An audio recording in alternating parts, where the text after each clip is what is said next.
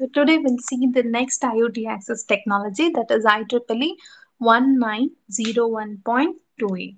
So this uh, technology relate, uh, relate to wireless that is it is um, as you can see it is a wire technology uh, 2013 is a wire technology and it is an updated version of IEEE 1901.2 specification and this stands for uh, this technology stands for NBPLC that is narrowband power line communication.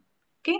And uh, this uh, NBPLC uh, leverages a narrowband spectrum for low power low range and resistance to interference over the same wires that carry electric power okay. So uh, NBPLC is often used in following applications like smart metering uh, distribution automation uh, public lighting electric vehicle charging stations and microgrids as well as in renewable energy. Okay these are the use cases of NBPLC now next move I will move on to the physical layer. As a physical layer mentioned the frequency used right? So this NBPLC uh, defined for the frequency band from 3 to 500 kilohertz okay? And the specification includes support for CENELEC A and B bands okay? So this is what you have to remember.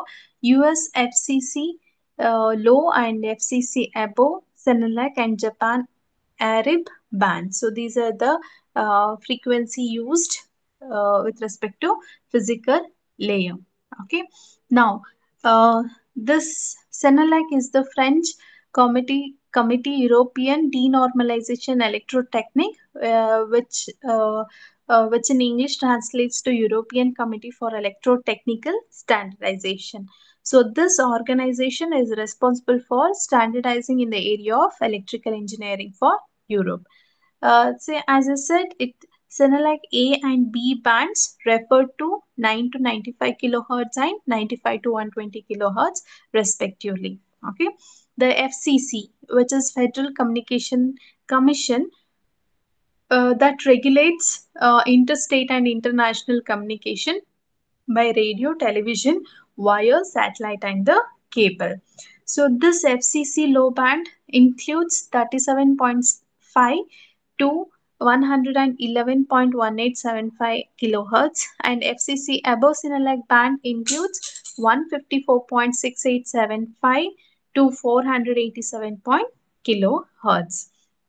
So this FCC above CENELEC band uh, become the most useful frequency because of its higher throughput and the reduced interference. Okay, and this is the uh, NB PLC frequency bands as I whatever explained in the previous uh, slides are uh, given in this uh, image that is FCC low ARIB, FCC above CENELEC and ARIB2. So what are its frequencies that is given and it ranges from 3 kilohertz to 490 kilohertz. Okay. Next, IEEE 19 uh, not 1.2a it supports largest set of coding and enables both robustness and the throughput. So this standard includes DBPSK that is differential binary, binary phase shift keying and DQPSK that is differential quadrature phase shift keying and D8 PSK that is differential 8 point phase shift keying for all the bands which I mentioned in the previous slide. And optionally 16 quadrature amplitude modulation are also used for some of the bands. So now uh, one major difference between the last previous technology and this technology IoT access technology is full integration of different types of modulation and tone maps okay so this PH, PHY payload that is data in the physical layer can change dynamically based on the channel condition in this IoT access technology okay and when it comes to MAC sublayer segmentation uh, i mean to implement this uh, MAC layer segmentation is implemented if the size of the MAC payload is too large to fit within one physical service data unit, then MAC payload is partitioned into smaller segments. Okay, so this MAC payload segmentation is done by dividing the MAC payload into multiple smaller amounts of data, which is nothing but segments based on the uh, uh, physical layer service data unit size. This segmentation may require addition of padding bands to the last payload segment so that the final uh, MAC layer PDU fills the PSDU okay? And all form of addressing that is unicast and a broadcast are subjected to segmentation. Okay? When it comes to mac layer it is based on uh, IEEE 802.15.4 MAC frame, but it integrates the latest IEEE 802.15.4e amendment. Okay, so one of the key component brought from uh, previous technology to this uh, this technology is information elements that is IE. Okay, with this support, additional capabilities the like key management protocol SSID are also supported. So this is the general MAC frame format for IEEE 1901.2. Okay, and um, whatever fields that are present in this uh, format is explained here okay? Segment control frame control sequence number destination pan identifier destination address source pan identifier source address auxiliary security head, header and information elements frame payload and frame check sequence.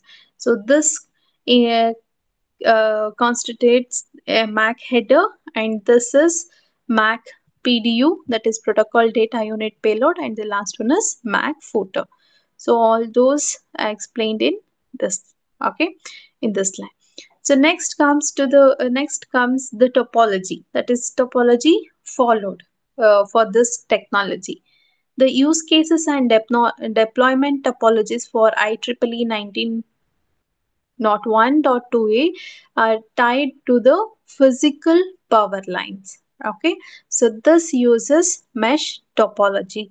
So uh, mesh network offers uh, the advantage of de uh, devices relaying the traffic of other devices uh, so longer distance can be segmented. And this is a, a image of it where mesh is used uh, i mean mesh topology is used for uh, nbplc okay so you can see the this line represents one hop and this colored line represents two hop this one three and this one four.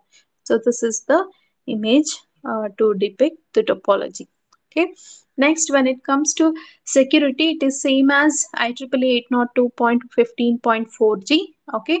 Where encryption and authentication uh, performed by using uh, advanced encryption uh, algorithm. Okay. In addition with this uh, there is ability to support key management protocol as well.